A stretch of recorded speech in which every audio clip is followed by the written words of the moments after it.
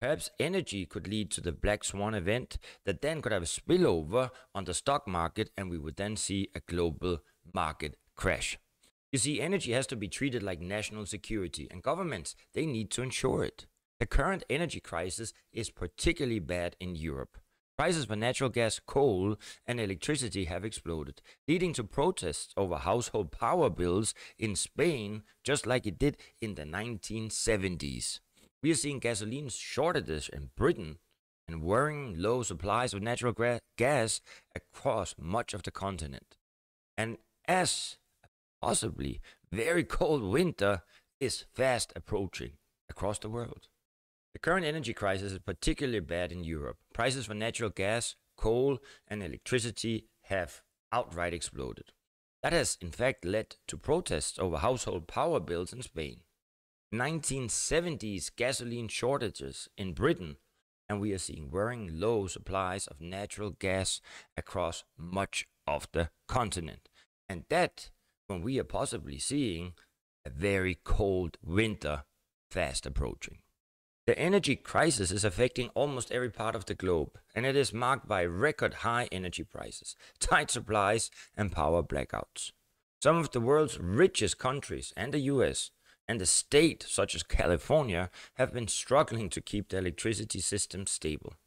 Now, the first energy crisis in decades has come as a shock to many even to me, and I think to you too, and Sister Shelly and Brother Jamal too, who seem to have forgotten, especially Kitty, how energy insecurity is interconnected with every major sphere of public life the economy, national security, the environment, and the health. You can't even cook mac and cheese at home without energy.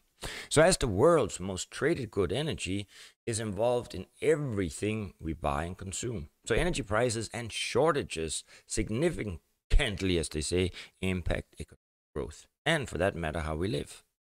Because energy is the most important input in manufacturing, stable prices, and supplies. They are the key to economic competitiveness. And I would actually say it's key to being alive, right? Electricity and fuels for heating, cooking, transport, they're major items in every household. And price increases disproportionately affect the poor, the pigeons.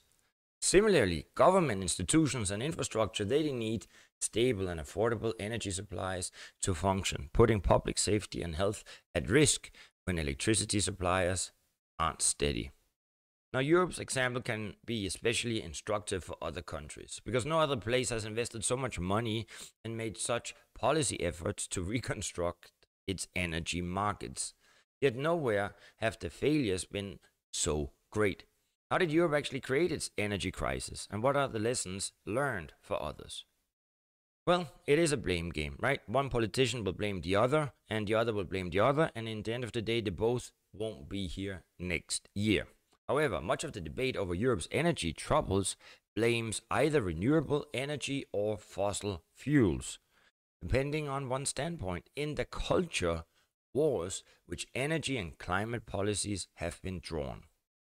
Now, the critics of reliance on renewables point out their dependence on intermittent wind and sun, which we obviously have been lacking across much of Europe this year. Remember, didn't have a lot of sun, right? What about the global warming? Anyway, while the proponents point out to the volatility in fossil fuel prices and lower gas imports from Russia. Bad, bad, Putin. In reality, Europe's energy policy failures are much more complex and have little to do with the debate over renewable and fossil fuels.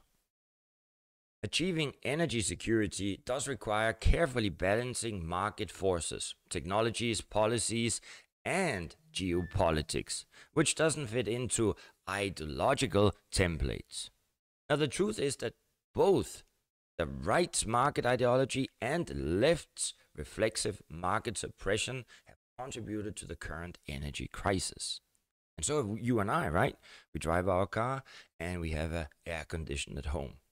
Now consider how Europe has designed its energy markets. As a part of its energy trade liberalization, the European Union encouraged member states to move to gas delivery contracts based on the daily spot price instead of negotiating fixed long term prices with suppliers such as Russia's Gazprom.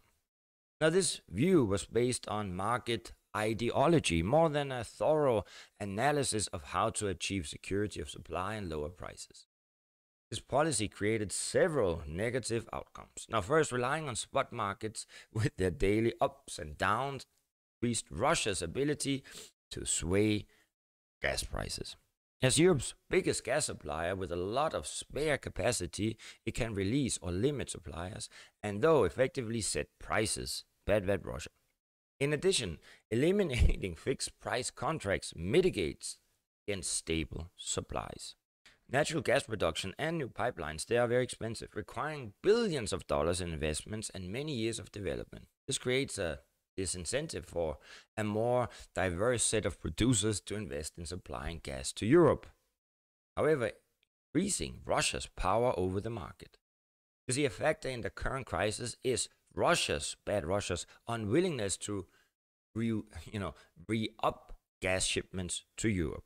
So with less gas supplied by pipelines, Europe has had to rely increasingly on imports of more expensive liquefied natural gas. And this is where it competes for shipments with East Asia, which is used to paying much higher gas prices than Europe is. All I know is that in Germany and in Denmark, we pay the highest prices for electricity and energy than anywhere in the world. But okay. So during periods of high demand, Europe has to pay Asian prices for additional supply instead of the cheaper price of pipeline gas from its own regional suppliers. So, with European governments mandating a greater share of renewables in the energy mix, utilities are not allowed to select the most economically viable fuel. Moreover, most governments they limit the electricity and natural gas price that they are allowed to charge consumers. So utilities control neither the prices of fuels nor what they can charge customers. Moreover, because the main renewable source of energy, solar and wind, are highly variable depending on the weather. Utilities must maintain an entire second network of always ready backup power plants using natural gas, coal, or other sources in order to ensure a stable electricity supply and prevent blackouts. Now, maintaining this spare capacity, which sits idle when the sun shines and the wind blows, naturally costs a lot of money. This is not paid by the renewable energy producers, is it now? But by the power utilities, which pass those costs on to the public. But let me just remind you the price of implementing renewable energy also has been passed on to the public. So, in response to rising energy prices, governments in the United Kingdom, France, Spain, and elsewhere have stepped in with new price ceilings. So, Europe also hasn't resolved how it deals with major spikes in energy demand such as during an extended cold spell, cold winter we're going to see. No price is going to move energy to another market if it requires turning out the lights on one's own people. During a brutally cold winter in early 2010, some European governments ignored contractual obligations to transit gas in order to provide heat to their own publics. With gas supplies at the lowest levels in many years going into the winter, this problem could be bad. As you probably know, I read this article and I got it from one of the mainstream newspapers. I mean, you read it, and what do you get out of it? A lot of nothing, right?